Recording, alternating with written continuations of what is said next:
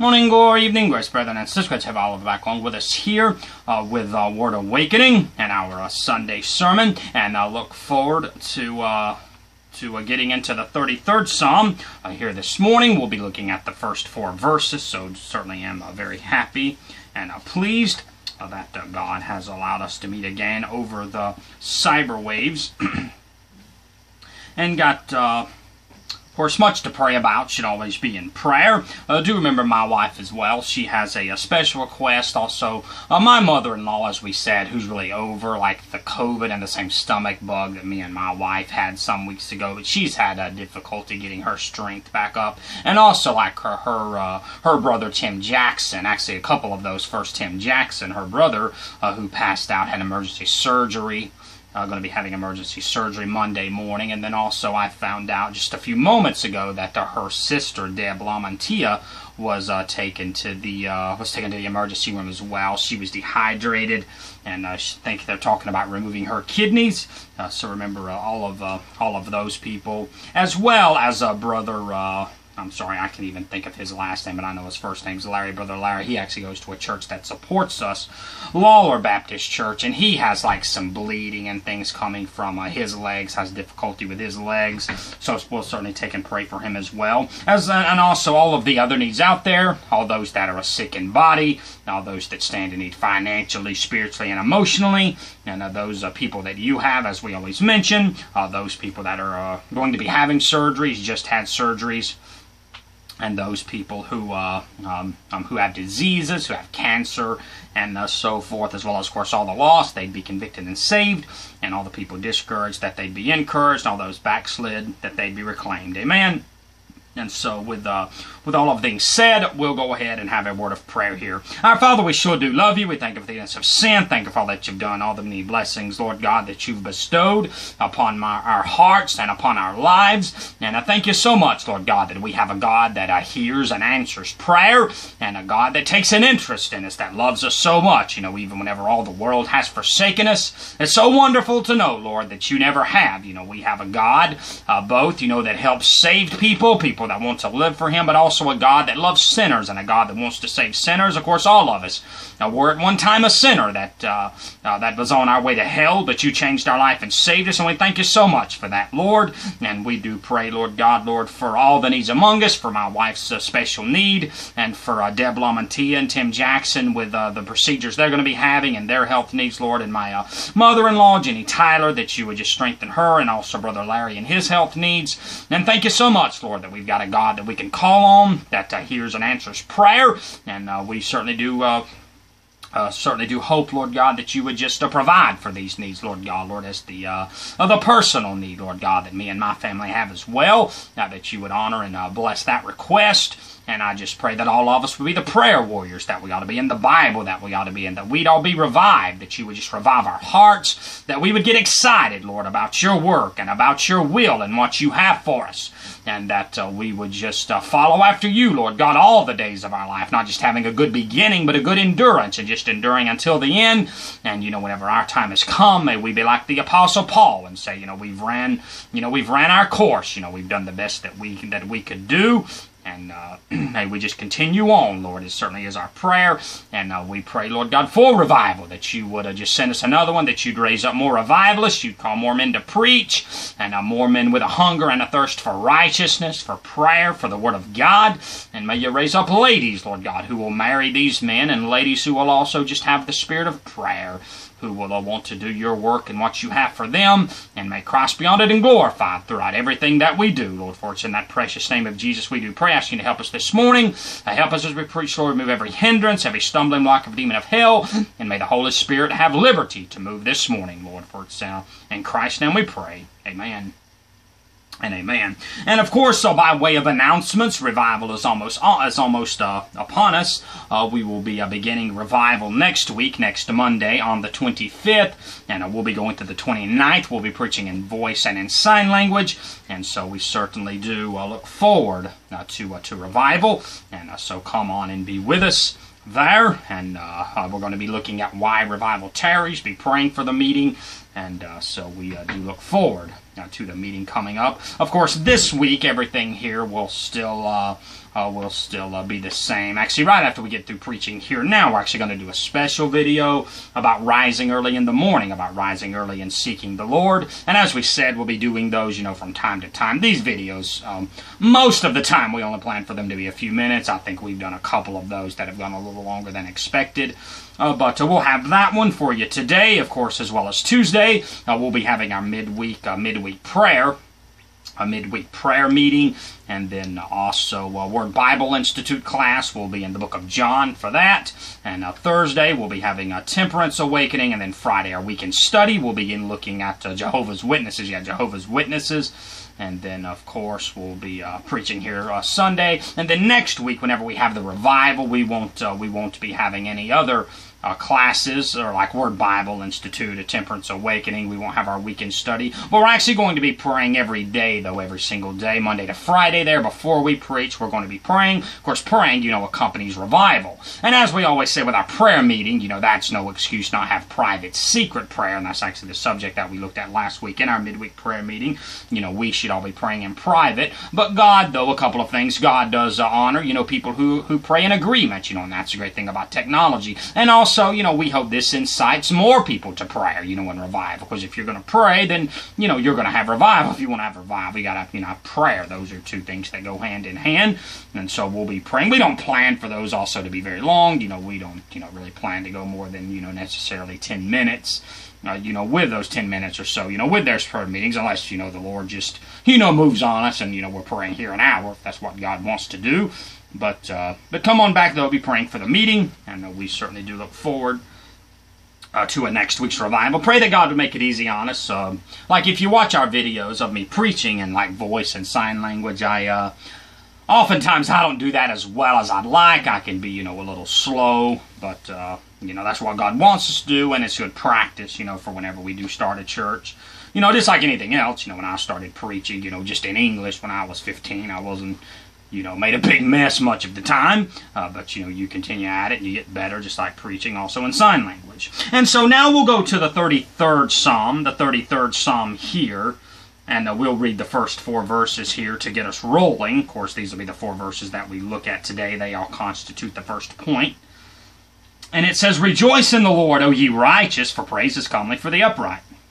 Praise the Lord with heart, sing unto him with a psaltery and an instrument of ten strings. Sing unto him a new psalm, play skillfully with a loud noise. For the word of the Lord is right, and all his works are done in truth.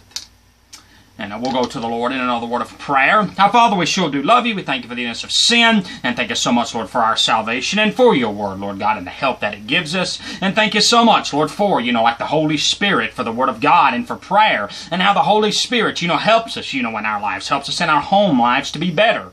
And we pray that we would do that, Lord. You know all the burdens on all the hearts, and we certainly pray, Lord, that you just touch them and that you would just help them, Lord, in a mighty, mighty way. And may, Lord, you just have a preeminence, you know, to move on hearts and lives. And you know, uh, uh, you know the, the, you know the needs, you know, and what's uh, what's holding uh, people, what's holding people down and all. And we certainly do just pray, Lord, that you'd help them, you know, with those things. Just encourage them and just to help us all to be biblical, you know, and have the right character about things that we face and have the right faith and, you know, do things in a biblical, you know, in a biblical manner. And just to make Christ be honored and glorified throughout all that we do here today, Lord God. For it's in that precious name of Jesus Christ we do pray. Just preach us, Lord, hide us find the cross and help us. Amen and amen.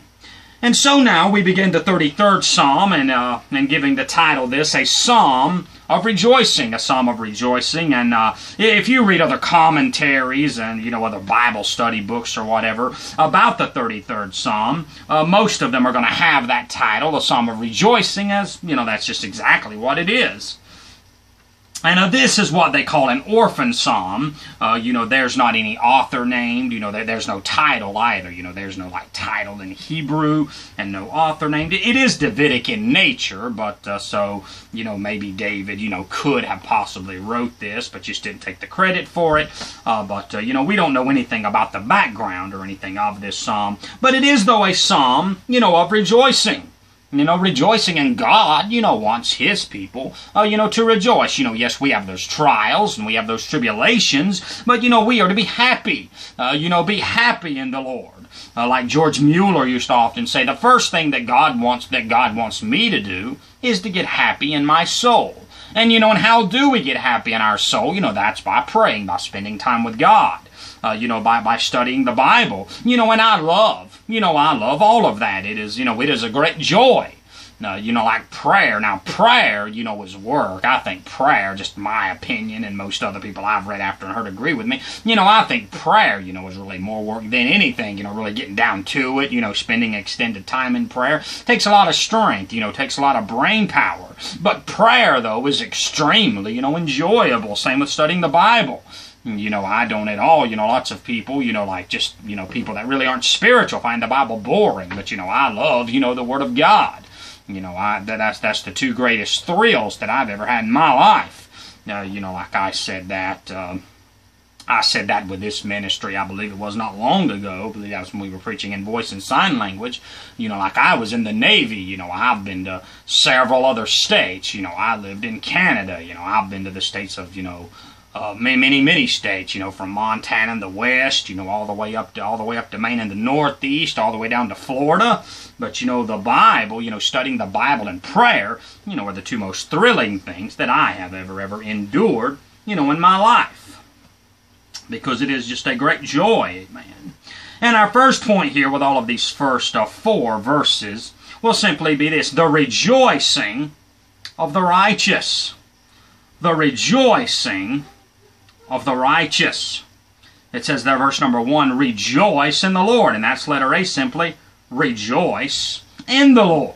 You know, that is, like we said, you know, that is biblical. I know, like a lot of lost people and even carnal Christians, you know, that they can't really comprehend that. You know, what's, uh, you know, like what kind of, you know, joy or whatever, you know, can there be, you know, from, you know, from, you know, something as boring as the Bible and praying and, you know, having to live in a religion, you know, by rules and, you know, etc., etc. But Philippians 4 4, though, tells us a very different story.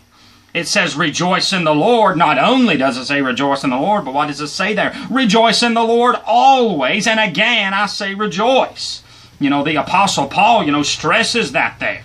You know, we are to rejoice, you know, in the good Lord. You know, we are to be happy, you know, in God always. You know, there, there's no reason uh, you know, to be down, you know, to be out, you know, but we are to rejoice, you know, even in difficult times, even in even in hardships, you know, we are to rejoice, knowing that God has a reason, uh, you know, for all things, and probably if more people would just be faithful and rejoice, uh, you know, through some early trials, you probably, truth be known, wouldn't have quite as many trials, you know, in the future. Uh, but you know, that's the Lord's will that we rejoice. We have a very similar verse over there in 1 Thessalonians chapter 5 and verse number 16. What does it say? Rejoice evermore. Rejoice evermore. And around this verse, really, uh, you know, the, the following verses here, you know, tell us a couple of things about rejoicing. So we are to rejoice evermore. And what else are we to do in our spiritual life? Pray without ceasing, like we just mentioned there. See, we are to pray without ceasing. We're to have a prayer life. You know, of all the things that the Apostle Paul could have told the church at Thessalonica after he told them to rejoice evermore, to always be rejoicing, it was to pray. Not just to pray, but to pray without ceasing. You know, that's having a prayer life, you know, like that verse there. You know, that's why we use that terminology, having a prayer life. Because, you know, as we always say here, you know, that's, first of all, that's something everybody can do you know, they're like uh, people that have eye problems, you know, who can't read. You know, there's especially like a lot of older people, you know, they can't read very well. You know, some people, you know, can't read very well. Some people can't study very well. Like some people, you know, have health problems and they're bound to their house. You know, they can't get out of their house very much. You know, like we have people in nursing homes, you know, who can't, you know, who aren't as mobile. You know, they can't, you know, get out, even get out into their community. But everybody, though, can pray. Everybody can have a prayer ministry. That's why everybody is commanded to pray, to have a prayer life. And if you want to rejoice in the Lord, you know that that's going to include prayer. You know, I know it. I've walked down that road before. You know, you can't have real joy in the Lord if you don't have a prayer life. Then verse 18, in everything give thanks. See, in everything. See, even in our trials and hardships, like we mentioned. You know, knowing that God's using those things to try our faith. You know, just like whenever we also fall into temptation. Uh, you know, temptation to, you know, watch something nasty or to do something that's wrong. You know, we are to give thanks for that. You know, even whenever somebody disrespects us, you know, we are to give thanks for that. For that's a trying, you know, of our character. You know, whenever somebody disrespects us, you know, are we going to keep Christian character? You know, are we going to, you know, be like Jesus, you know, was to people? I know that's easier said than done, but, you know, that really shows a spiritual person. You know, what did Jesus do? You know, whenever people were beating him, he said, Father, forgive them. They know not what they do. You know, he said, you know, the Apostle Paul, I believe, also said, you know, what, you know, people do to me may, it may not be laid to their charge you know, may the Lord save them and deliver them, you know, from their wrongdoing. See, for this is the will of God in Christ Jesus concerning you. And then also quench not the Spirit. Because, see, you can't rejoice if you quench the Spirit of God. You know, certainly like we've said, in your personal life, you know, you can't, you can't, you know, watch filthy things on television, you know, listen to filthy music, or, or like we often say here, you know, not even give God any of your time you know, even if things you're watching or whatever, you know, isn't nasty, if you spend all of your time just, you know, watching television sitcoms and television dramas, you know, that might not even be all that filthy, or, you know, and or, you know, spend all your time watching ball games or, you know, out on the lake fishing or, you know, in the fields hunting, and you never have a prayer life or a Bible study life, you know, you're not going to have the joy of the Lord. You know, you're only going to have the joy of the Lord whenever you give God a great multitude of your time. See, we can't quench the spirit. See, that also goes for a church. You know, that also goes, you know, corporately. If you have a church, you know, that's praying, you know, praying a lot, you know, a prayer filled church, you know, with pe- people who are students of the Bible, you know, people who love the Word of God, you know, who love to hear preaching, you know, people who love, you know, holiness, you know, people who have very strong, you know, spiritual lives you know, that's a church that's going to have a lot of joy in it. You know, that's a church that's going to have a lot of happiness in the Lord. But see, if you take a church that's the other way, that has very little prayer, you know, where people pray very little, where people have very little, you know, of a, you know, a very sparse spiritual life, you know, that's a church that's not going to have the joy of the Lord. You know, those are going to be churches that have problems. You know, because people there, you know, just don't know anything about prayer, don't know anything about studying the Bible. and see, that's real rejoicing, you know, in the Lord. See, and just continuing that thought, really going right along with it, going back to the 33rd Psalm, our first phrase there, rejoice in the Lord. Then who is that, O ye righteous?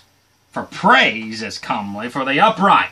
Let her be here be righteous and upright and you know we're just kind of you know building on what we've already said. You know if you're a person that's going to have the joy of the lord then you're going to have god's righteousness. You know you're going to be a righteous person. You're going to be one that's upright. You know you're a person you know that's going to be living a holy you know separated life. You know that's why we have laws. You know just laws you know in our society like you know kind of like with christianity and all and you know especially you know fundamentalist you know we being people of high standards you know and so forth people might say well you know like where's the joy and all in that you know with all these standards and you know et cetera et cetera well you know we see that actually you know in our society in the united states of america now I know we might have some laws, you know, that should not be enforced, and then we have, you know, some things that should be laws but are not. But you know, that's just like society, you know, in our you know, in our communities. You know, we have, like I said, we have laws. Because, see, if you didn't have those laws, then, you know, your life would be what? You know, would be a mess. Like, what if it wasn't illegal, you know, to shoot somebody? What if it wasn't illegal, you know, to assault somebody? You know, then, you know, our life would be what? You know, our life would be chaotic. You know, what if it wasn't wrong to steal?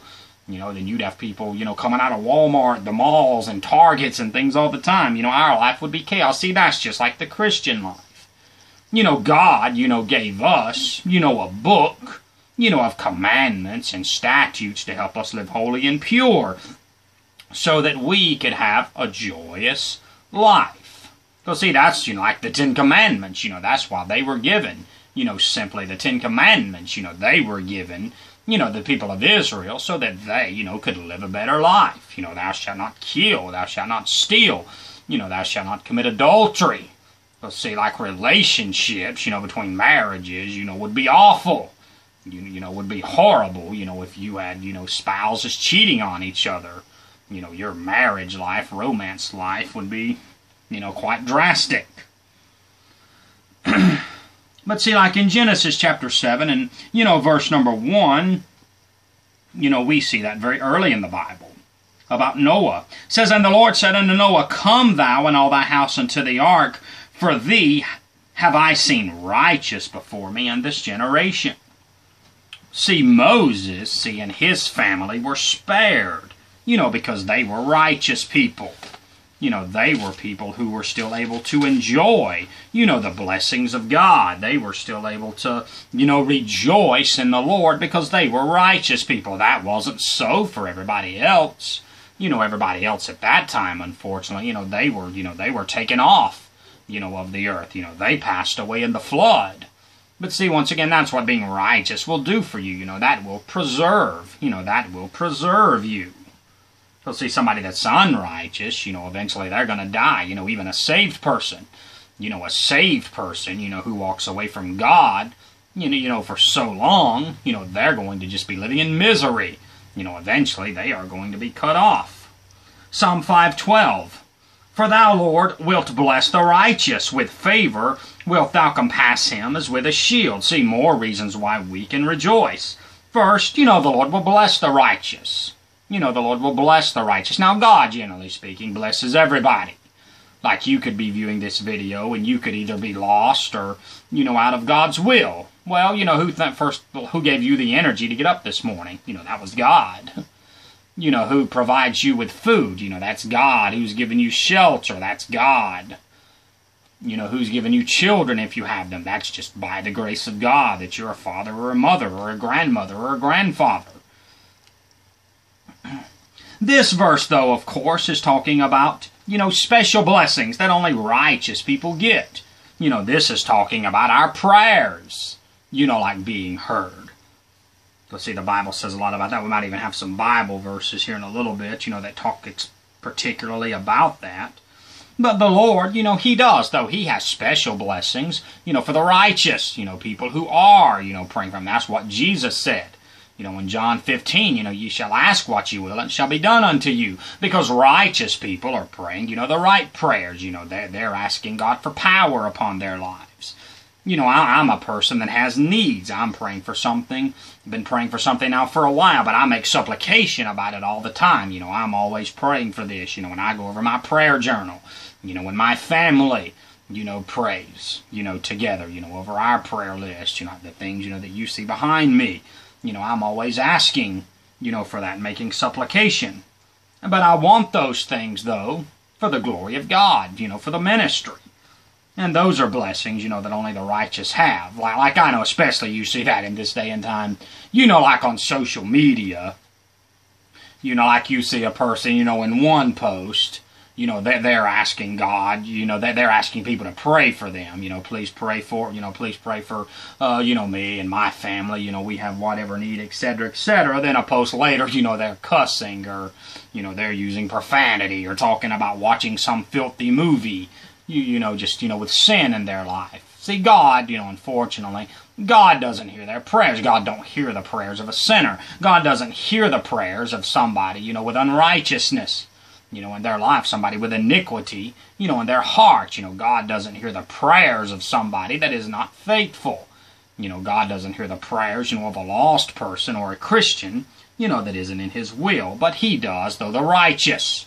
You know, those are special blessings, you know, that righteous people, truly righteous people get. Seeing what else there? You know, God's going to bless the righteous with favor wilt thou compass him as with a shield. See, that's our protection. See, there's protection, you know, for people that live. You know, for the Lord. You know, God does. You know, He makes special, you know, provision. You know, He makes special provision for them. Yes, you know, we have people like Job, you know, and even like like Job who went through so much, and then like the Apostle Paul. You know, just like, you know, the Apostle Paul, you know, who also, you know, went through you know, went through a lot in the ministry, but God always, though, gave them that which they need. you know, and their, their trials, you know, proved to their faith, you know, the hardships that they had. You know, and God, though, you know, like I said, you know, He always delivered them in His time, you know, and in His way. In Psalm 19.9, the fear of the Lord is clean, enduring forever. The judgments of the Lord are true and righteous altogether. See, what do we have, you know, as a righteous people? We're clean. See, nobody likes something dirty. You know, like even a homeless person, you know, if they have the choice, you know, they're going to eat clean food over dirty food. You know, they'd rather be clean, you know, than be unclean. You know, that they've given the opportunity, they'd rather go take a shower and put on fresh clothes and all, you know, rather than, you know, wearing the same clothes for a month and being filthy and nasty. Because see, those who fear the Lord, you know, they're clean. Because the fear of the Lord is clean. See, and what else? You know, enduring forever, you know, just like we said. You know, real people of faith, you know, they endure forever. See, and the judgments of the Lord, you know, they're true and they're righteous. See, we have the truth. See, what this world has, you know, is a lie. You know, it's deception. You know, it isn't real. But what God has is real and true. Now we go to the 34th Psalm and verse number 15, another, uh, you know, for me to what we've been saying here. The eyes of the Lord are upon the righteous, and his ears are open unto their cry. You know, just like we've already said there. You know, the Lord is watching out for righteous people you know, his ears are open to their prayers. Because as we said, somebody that's unrighteous, you know, somebody that's lost or somebody that's not in God's will, you know, they don't have that promise. God doesn't hear their prayers. Psalm 35, 27. Let them shout for joy and be glad that favor my righteous cause. See, God's righteous cause. See, people can be happy, you know, who are doing the Lord's work, who are out for His cause. You know, there's great joy you know, in that, you know, that's a joy that can't be described. You know, my family, me and my wife, you know, we're certainly, you know, evidence of that. You know, why, you know, would a boy from South Carolina and a girl from Alabama, you know, want to go up north, you know, when most people do the direct opposite. You know, most people, you know, they move, you know, up north, you know, they move, or, you know, at least most of them, you know, when they retire, they go to the south. But see, me and my wife are overjoyed, you know, to go to the north because that's the will of God for us, you know, to do the Lord's work. You know, yea, let them say continually, let the Lord be magnified, which hath pleasure in the prosperity of his servant. Because see God, see there, which hath pleasure in the prosperity of his servant. See God, you know, wants to, you know, God wants to bless us. God wants us to be happy. And we can have that, you know, if we are faithful to the Lord. Psalm chapter 37 and uh, verse number verse number 16. A little that a righteous man hath is better than the riches of many wicked. Because, see, a righteous person is right with God. See, a wicked person is not, no matter how much riches they have. You know, they don't know what real joy and real happiness is. But a person that walks with God does. Psalm 55 22. Cast thy burden upon the Lord, and he shall sustain thee. He shall never suffer the righteous to be moved. See, like us righteous people, you know, we're to give God all our burdens. You know, that's also in the New Testament. You know, cast all your care upon him, for he careth for you. See, that's that's another privilege, you know, of righteous people, people in God's will. You know, we can cast our burdens on the Lord, you know, and he will sustain us. You know, he'll give us all that which we need you know, in, in His time, you know, in the Lord's time. You know, He'll give us that which we need. He'll never suffer the righteous to be moved. You know, He'll never suffer the righteous to fall, you know, or to perish. Now we go to the uh, Psalm 58.10, the last verse that we have here with this subpoint. The righteous shall rejoice when he seeth the vengeance. He shall wash his feet in the blood of the wicked. Because, see, now, vengeance doesn't belong to us. It doesn't belong to people. It belongs to God. But there comes a time, though, you know, when that does happen. You know, there comes a time when God, you know, removes. You know, when God, you know, removes, you know, people who were in opposition to His people. You know, whenever He takes hindrances out of the way, you know, because there are people that are just hindrances. You know, they sow discord. You know, they tell lies. You know, they just cause problems, you know, in a church you know, and just hinder the people of God. You know, there comes a time, you know, when God removes those people. And we can, you know, us as God's people, you know, we can have peace. That God will do that, you know, in His time. You know, He will. And now we go back here to verse number 2 of Psalm 33. It says, Praise the Lord with harps, sing unto him with a psaltery and an instrument of ten strings. See a letter, a letter C here, we can praise the Lord with song. You know, we are to praise the Lord, you know, in song and be happy. You know, that's why we sing hymns, because we're happy in the Lord. Then uh, verse number 3, Sing unto him a new song Sing unto him a new song, play skillfully with a loud noise. Letter D here, we are to have a new song. See, the song that we have isn't the song of the world. It's not the song that, that we had before, but it's a new one. You know, it is a new song because we have a new life. You know, we have a new desire. See, everybody at one time was lost. You know, when I was lost, I didn't like reading the Bible or praying. That was all boring to me. I didn't like going to church, didn't like it really one bit. You know, soon as, you know, when, when I was lost, soon as preaching, you know, started, you know, I couldn't, you know, I couldn't wait till it was over, you know, especially on Sunday mornings. You know, I could get home and watch the football games and watch the NASCAR race. But when I got saved, I got a new desire. You know, I had a new desire put in me. See in uh, Psalm 40, verse 3. And he hath put a new song in my mouth, even praise unto our God. Many shall see it and fear and shall trust in the Lord. Of course, this kind of uh, this uh, kind of expression here verse is uh, throughout the Psalms in a few places. Also in Psalm 96 verse 1.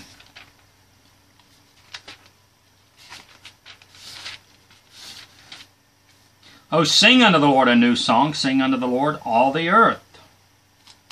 Psalm 98 1. Oh, sing unto the Lord a new song, for he hath done marvelous things. His right hand and his holy arm hath gotten him the victory.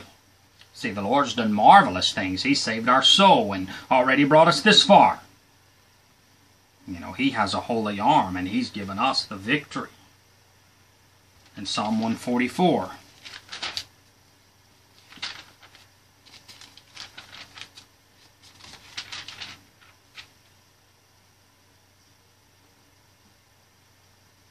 In verse number 9, I will sing a new song unto thee, O God upon a psaltery and an instrument of ten strings, while I sing praises unto thee. See, we've a new song. Psalm 149 1 Praise ye the Lord, sing unto the Lord a new song, and his praise in the congregation of the saints. And now finishing up here, now going back to the 33rd Psalm.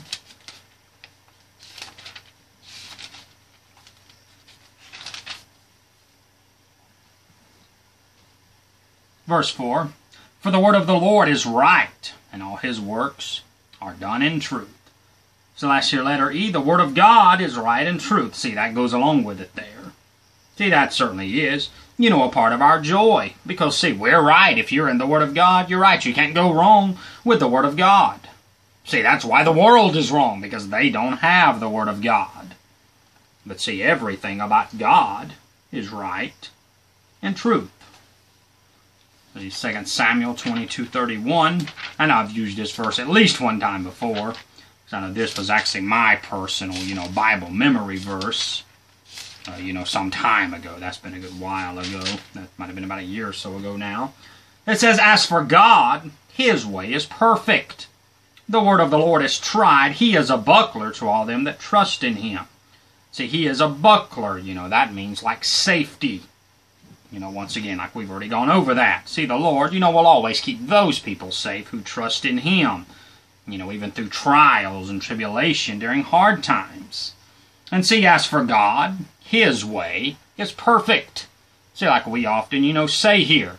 See, if you've got the Word of God and you're going in God's direction, going down the path that God has for you, you know, that, that is perfect. You know, that means there's no flaws you know, that there's no flaws in a life. You know, when somebody's living for God. You know, whenever they've got the Word of God, they're living according to God's Word. You know, they're living a life of prayer, a life of righteousness. You know, that way is perfect. That's, you know, partly why it is so joyous. You know, because nobody, you know, can go wrong according to the Word of God. You know, if you are wrong, that's because you don't have the Bible. Matthew 4 4. But he answered and said, It is written, Man shall not live by bread alone, but by every word that proceedeth out of the mouth of God. You'll see, we don't live simply by, you know, physical food. You know, what says God's people, you know, we are sustained, you know, we have joy because we have the Word of God. And as we said, you know, that is a necessity if you want a successful Christian life. If you want to be happy in God, then you must have His Word. Luke chapter 11, verses 27 and 28. And it came to pass, as he spake these things, a certain woman of the company lifted up her voice and said unto him, Blessed is the womb that bare thee, and the paps which thou hast sucked. So this is somebody right here that wants to do what? They want to praise Mary, you know, just like the Roman Catholic Church does. But what did Jesus say, though? But he said, Yea, rather, blessed are they that hear the word of God and keep it. See, people who keep the Word of God, you know, they're the people that are going to be blessed, not even people that honor Mary. You know, not even people that worship, you know, that worship Mary, even though she was a godly, virtuous woman. You know, she wasn't worthy of worship. See, like of all the things Jesus said in response to that, he said, hear the word of God and keep it because, you know, it's wrong to worship anybody but God. And what we have is God's word, you know, and we are to dwell on it and we are to keep it, you know, and that will, you know, that'll give you joy, you know, that's unspeakable. You know, that'll give you a joy and a peace, you know, that cannot, you know, that nobody, you know, can describe you know, a real, you know, a real, you know, a real, real joy there, amen. So thank you so much there for being with us, and uh, certainly good stuff there from the Word of God. And keep praying for us, as we said right after this, uh, going to be uh, going to be doing a teaching about rising early and seeking the Lord. Of course, going to be having our prayer meeting uh, later on this week. It'll probably be Tuesday, at least by Wednesday, at least by Thursday, Tuesday, Wednesday, Thursday. Though we try to uh, probably, though, I'm sure this week going to be uploading that on Tuesday. Of course, then uh, over with the Word Bible Institute and Temperance Awakening, be having that later this week as well. And then our weekend study, you know, we'll be doing that Friday or Saturday. And then preaching, of course, in voice and sign language. But I actually forgot to mention that. But you know, we do that every every week. You know, that's usually uploaded on a Saturday, a Friday, or a Saturday, or whenever we get the opportunity. So a lot going on here with our ministry, and uh, we love it you know, appreciate it. You know, just what I was thinking there about joy in the Lord. Uh, you know, like I told my wife not long ago, you know, I wouldn't trade, you know, one chapter of the Bible that I've read, uh, you know, one article that I've written, you know, one book, you know, that I've read, one book that I've written, you know, one sermon, one, you know, one teaching, whatever.